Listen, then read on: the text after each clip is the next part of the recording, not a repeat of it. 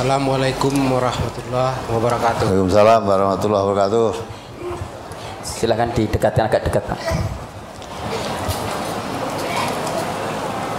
Perkenalkan, perkenalkan nama saya Ferry Henry. Ferry Apa? Hendri. Ferry Henry. Ferry Hendri. Ya, Ya, dari mana? dari Bukit Tinggi, Kota Padang. Oh, dari Bukit Tinggi. Rombongan perwakilan Damas Raya. Ya. Bukit Tinggi baru binaan, Ustaz. Kebetulan di sini untuk mengajukan perwakilan. Ya. Mudah-mudahan disiapkan Pak Tri ini, Pak. Ya, ya terus? kami rombongan 11 orang semuanya. Ya. Ha.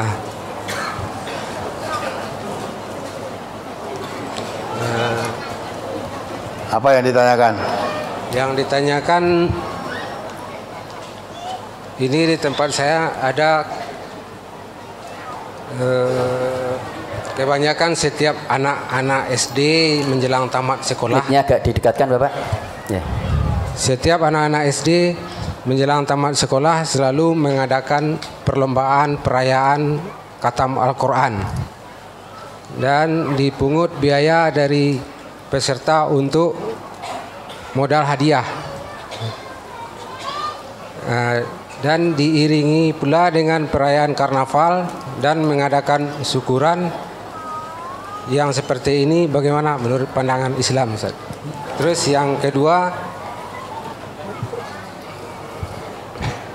tentang berwasiat Ustaz. Di tempat kami ada namanya wasiat wasiat harta yang diperuntukkan pembagiannya pada anak perempuan saja. Sementara laki-laki tidak dapat bahagian. Apakah dibolehkan dalam Di Islam? warisan itu yang lagi malah nggak dapat. Iya, Pak. Yang dapat perempuan. Yang dapat perempuan saja. Selanjutnya sampai keturunan bawah. Terus kita punya Maisa usaha yaitu menyewakan seperti tenda, pentas, organ tunggal, terus bagian pakaian untuk perayaan karnaval dan untuk ulang tahun. Dari hal seperti ini bagaimana menurut pertimbangan Islam juga Ustaz? Ya. Jadi itulah yang kami sampaikan. Ya. Nah, wabillahi taufik wa hidayah. Assalamualaikum warahmatullahi wabarakatuh. Jadi lomba kataman Quran artinya cepet-cepetan siapa yang khatam Quran dulu itu lomba kataman ya tak? Baca Quran siapa yang lebih cepat dulu nanti diberi hadiah ya kataman Quran nanti yang khatam lebih dulu diberi hadiah boleh itu tidak apa-apa itu urusan duniawiyah untuk memacu anak-anak SD biar sergap membaca Quran. Tapi kalau itu tidak ditunggoni nanti ya bisa tidak membaca, tahu-tahu laporan saya sudah katam gitu. Saya pernah dulu ikut bukan lantai lembaga katam, tiap malam Jumat dulu itu ah, gerakan pemuda-pemuda itu membaca Yasin. Masing-masing cekel Quran. Nah, karena baca itu saya lihat sebelah saya arep rampung saya masih jauh tak lompati iya lompati lembarannya dilompati.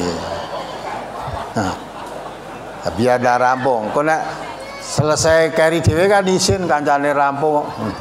Tak lompati tak lama oh ya tak lompati aja. Nyucuk mburi dhewe sik dhewe ya kayaknya nah itu juga kataman dulu pernah saya ikut orang mati suruh membacakan Quran ya. Satu Quran itu katam satu minggu orang. Saya juga gitu juga lihati teman-temannya. Satu minggu loh itu. Satu Quran baca satu minggu.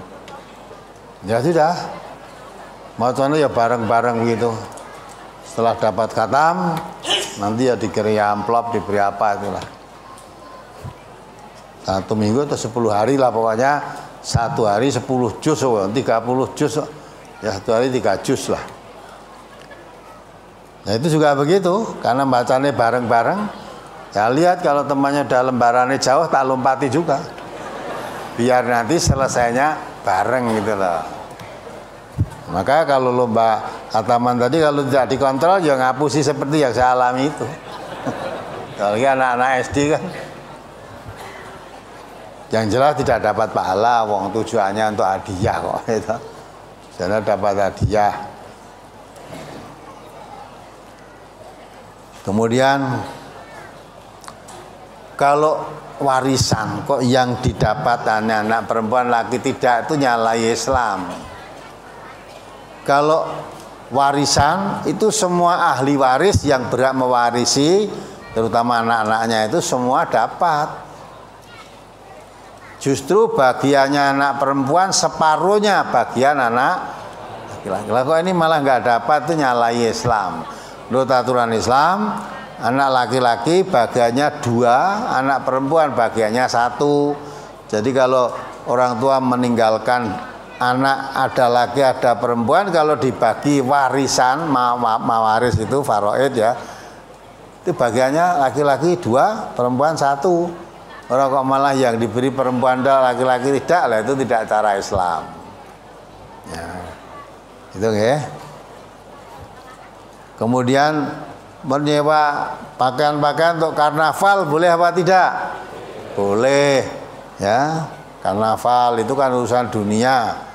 Maksudnya ini mau mengenang sejarah perjuangan dulu. Ini ada yang jadi pangeran Diponegoro ya toh. Dah harus numpak kuda.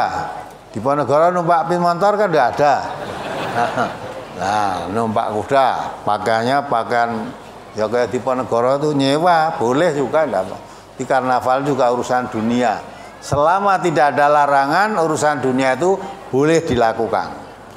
Tapi kalau masalah ibadah, selama tidak ada perintah, tidak ada contoh, tidak boleh dilakukan. Maka kalau urusan ibadah, jangan tanya larangan, tapi ada tanya ada contohnya apa tidak. Tapi kalau masalah urusan dunia, jangan tanya contoh, ada larangannya apa tidak. Kalau nggak ada larangannya berarti boleh. Karena al aslu an al ibahah. Asalnya urusan dunia itu mubah. Kita urusan dunia boleh apa saja boleh dilakukan selama tidak ada larangan. Ya, misalnya pakaian itu urusan dunia. Ya ada larangannya, jangan laki-laki memakai pakaian seperti pakaian perempuan atau perempuan pakai laki-laki sebaliknya. Tidak boleh. Ya, itu dah. Tapi kalau urusan ibadah jangan membuat-buat, harus mengikuti contoh. Selama tidak ada contohnya, tidak boleh. Jangan kok ibadah itu apa ini larangan nih? Bukan larang, ada contohnya apa enggak?